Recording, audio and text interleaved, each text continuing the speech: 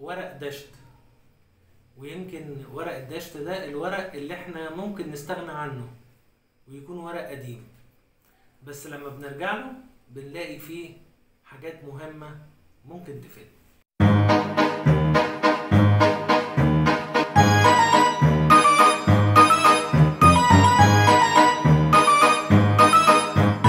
في حلقة جديدة من ورق دشت.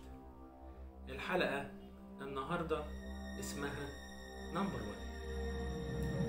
1 شيء غريب جدا إن على صفحات الفيسبوك دايما بنلاقي كل واحد متصور وعامل آه، آه، كده بيقول لك أنا number 1 طيب. آه، أنا بعتبر إن هذه النوع من الصور إن آه، أشخاصها أو يعني إن إحنا لازم نبتعد عن هذا النوع من الصور لأن ده أنا بعتبره مرض النرجسية اللي بيعني حب النفس والأنانية. وده اضطراب في الشخصية حيث أنها تتميز بالغرور والتعالي والشعور بالأهمية ومحاولة الكسب على حساب الآخرين. وأنا بسميها أيضا نظرية اللبلاب واحد عايز يطلع وخلاص وإنه آه، يوصل على حساب الآخرين. وهنا في أسطورة يونانية قديمة. تتحدث أن نيركسوس كان شخصا آية في الجمال وقد عشق نفسه جدا لدرجة أنه مات حينما رأى وجهه في المياه. يعني الراجل كان حاجة فظيعة. بيحب يعني مش ممكن. يا على الجمال. مات من كتر لما لقى نفسه كده جميل.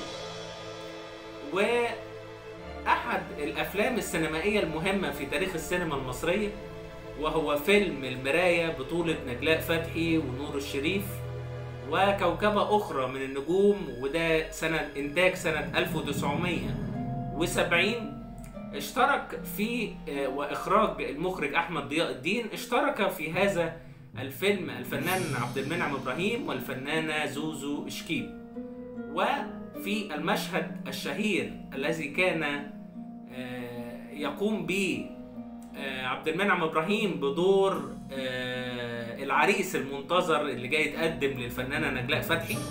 فطبعا زوزو شكيب كانت دايما تغذي أفكارها. انت ما فيش غيرك انت ما فيش زيك. طب بصي في المراية ده انت جميلة ده انت آه، هيجي سيد سيد وياخدك والعريس اللي مش عارفه عامل إيه.